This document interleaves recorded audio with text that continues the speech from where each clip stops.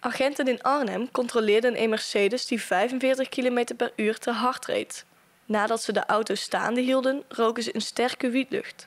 Ze doorzochten het voertuig verder en troffen een vuurwapen aan. Ook vonden ze inbrekerswerktuig in het voertuig.